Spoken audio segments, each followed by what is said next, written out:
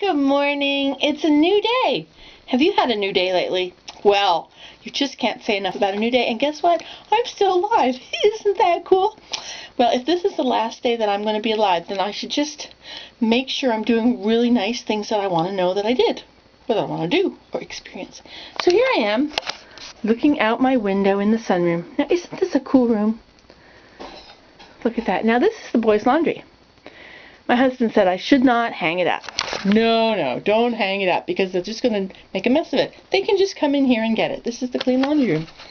Now, some of you may think I'm not a very good homemaker, not a good housekeeper. Well, you know the real reason that it's a mess here? It's because I don't want anybody else to feel bad. That's right.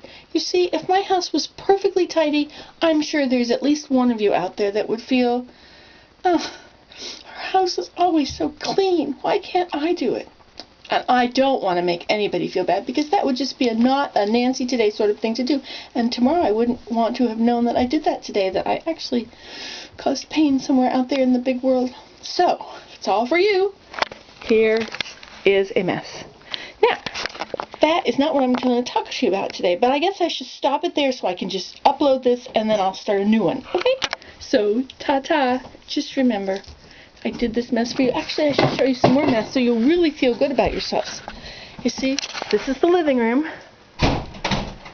and the kitchen. I've been plugging away at this. I have worked for quite a while to get this table down to that level of cleanliness. Now you see this is here because I'm going to open it up and take a magnet out of it so I can put it on my arm where it hurts. And this is here because this is all from a press trip I went on once upon a time long ago. And I have to look at all these things and decide, I guess I should keep all the photos, but what about these? You know, can you really throw a map away? I mean, what if you needed a map in the future? Look, uh, something about an artist group.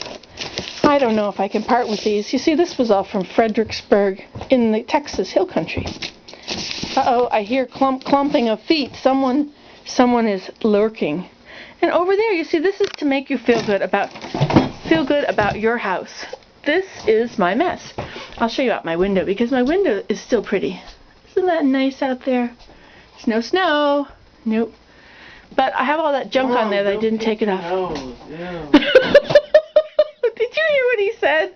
What a Connor or whatever he would be. See, now I'm just showing this mess to you so that you can feel good about yourself and you can start your day thinking, my house is so much cleaner than hers. I don't have very far to go at all. See, doesn't that just do wonders for how you feel? Well, if this is your last day on earth, what will you be doing with it? Not having a heart attack, I hope. Bye.